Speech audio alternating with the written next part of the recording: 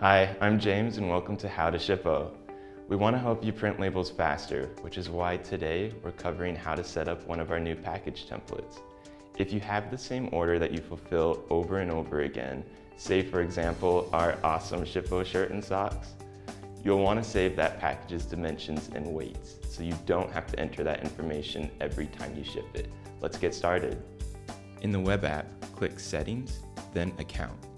Once there, scroll all the way to the bottom of the page where you'll find package templates. Click Add a package, select the packaging type, and give it a name that easily identifies the package. Then, add the dimensions and weight for the package.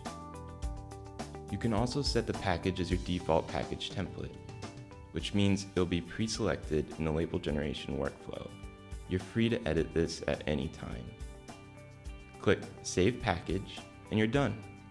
You'll be able to select that package template the next time you create a label. And you can save multiple package templates if you have a couple popular orders. And that is how you save a package template to expedite your shipping process. Questions? Contact support at support at goshippo.com or check out our help center. Good luck.